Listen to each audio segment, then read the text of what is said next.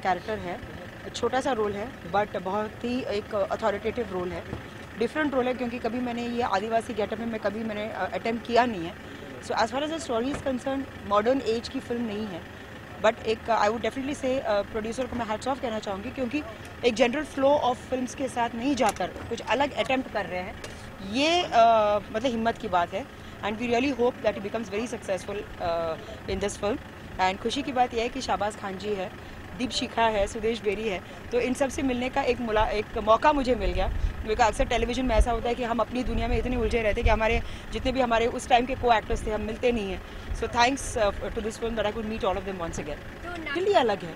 अगर आप देखेंगे तो विदाउट मेकअप मैंने काम किया है बिकॉज़ आदिवासी का कैरेक्टर है पहली बार आदिवासी का गेटअप मैंने लिया है। अगर आप मुझे टेलीविज़न पे देखेंगे तो जब देखो ओवर मेकअप रहता है ओवर एक्टिंग रहती है हर चीज़ ओवर द टॉप ही रहता है but when you do film वो एक एडवांटेज है कि आप उस किरदार बन के जीते हो। So yes there a lot of difference अगर uh, नागिन आसमान है तो ये ज़मीन है तो it's like day and night नहीं, मैंने खुद ये पर्सनली कहा था कि मैं विदाउट मेकअप ही करूँगी। दिस वॉज़ माई डिसीज़न हालाँकि उन्होंने मुझसे ये भी कहा था कि थोड़ा सा बेस लगाइए। मैंने कहा, बिल्कुल नहीं लगाऊँगी because we will lose the authenticity of the character so जो भी डिशन रहती है विथ मेकअप या विदाउट मेकअप वो हम वेल लोगों ने हमेशा मुझे सपोर्ट किया, बहुत प्यार मिला है मुझे लोगों से, खासतौर से मीडिया की वजह से। See media is always been the link between me and my audience तो सबसे पहले मैं थैंक्स मीडिया को कहना चाहूँगी। सेकेंडली येस जो भी मैं अटैम्प्ट करती हूँ, लोगों को बहुत अच्छा लगता है। अच्छा हो, बुरा हो बट प्यार से लोग उसे देखते हैं। मुझे इनक्रेज करते हैं। शायद वही एक रीज़न है जिसकी वजह से मैं कुछ अलग अलग अटैम्प्ट करती रहती हूँ। यस yes, ऐसी बात नहीं है कि मैंने फ़िल्में छोड़ दिया टाटा गुड बाय कह दिया।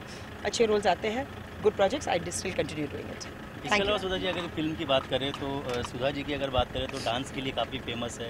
लोग उन्हें पसंद करते हैं। इस फ़िल्म में क्या उसकी झलक नज़र मिलने वाली है? बिल्कुल ही नहीं।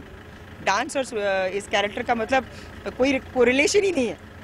सिर्फ़ अपने डांस के हाव भाव मैंने कुछ यूज़ किए होंगे इसमें एक्सप्रेशन के तौर पर बट अदरवाइज़ तो डांस से कोई संबंध नहीं है। Thank you